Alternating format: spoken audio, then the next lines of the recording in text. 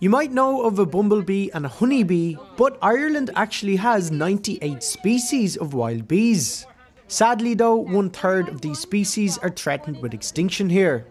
Bulbs for Bees is a programme aimed at helping our native bees by giving them flowers to thrive on. Um, at the moment, or in, in the last number of years, we've been losing bees. So what we want to do is, is uh, create an environment where the, more of them will produce and more of them will be will be a, around for us. At the Central Remedial Clinic School, learners were planting pollinator-friendly flower species like the crocus and grape hyacinth. Uh, we planted crocuses and some flowers to make um, two two pots of flowers, and we did like pollination, pollen, and honey.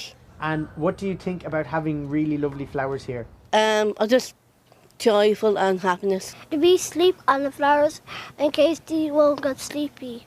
Brilliant. And do you like flowers? Yeah, Tell me why. because they're, they're my favourite.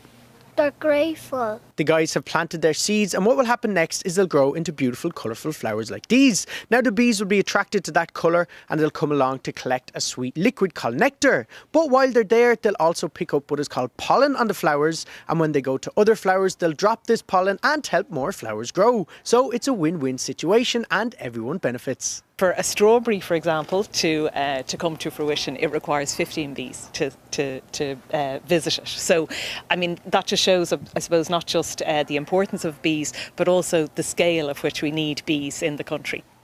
The bees like um, give um, all the different type type of the flowers. They're, they're yellow in the back. They do this. Bzzz.